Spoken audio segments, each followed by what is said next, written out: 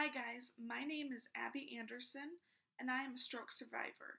I wanted to start creating videos for all you other stroke survivors out there to give you tips and tricks on how to deal with life post stroke. Let me give you a little backstory on my life and my stroke. So, when I was 14 years old, I had my stroke. Uh, it was an ischemic stroke and which basically means my carotid artery, a blood clot, got stuck, and so I couldn't get oxygen or blood up to my brain. Therefore, the stroke happened. And I was in the hospital for about three months. The whole left side of my body was completely paralyzed. So I spent those three months in intense rehabilitation trying to gain back whatever we could.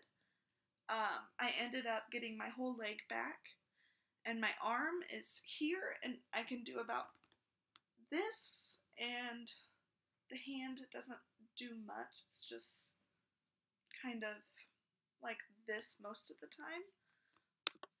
And I'm still doing therapy on it every day to try and get some sort of function back.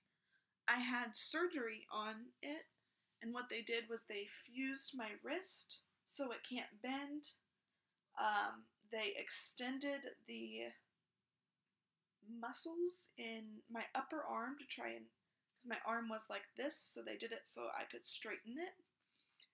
And therapy's helping and it's hard but you just have to stick with it and eventually you will be where you want to be.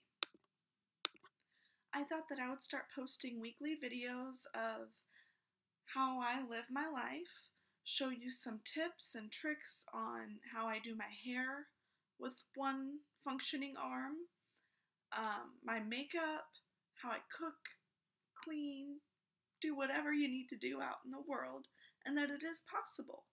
And I hope you guys could really benefit from these videos, so please like and share them, and comment below if you would like to see more. Bye guys.